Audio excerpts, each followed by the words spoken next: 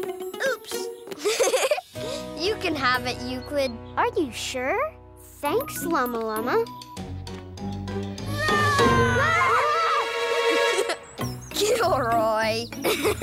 Just playing. How's it going over here? Good. I think we've all picked out our pumpkins. Look, I found twinkins.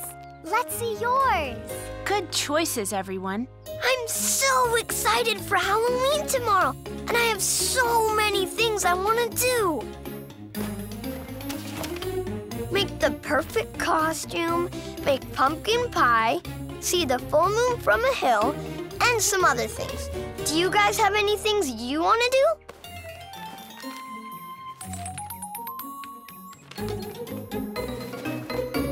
Just the usual.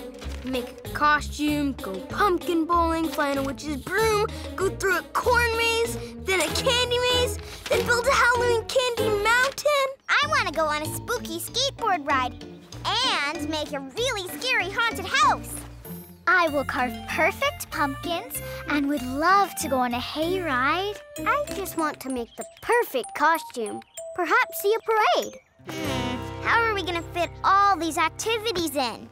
Well, I know there are a few things we all want to do, like pumpkin carving. And picking out a costume. Why don't we do those things together? Mm-hmm.